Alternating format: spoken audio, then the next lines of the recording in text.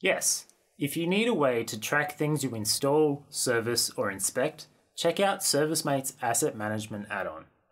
This feature can transform how you catalog the details and location of things like equipment, appliances, installations, or machinery. Then you can record and track their service history. With ServiceM8's Asset Management, you can create new assets and save their details and locations against a client. Then, you can complete any kind of installation, inspection, or maintenance report you'd usually undertake using the Forms add-on, then save this against each asset.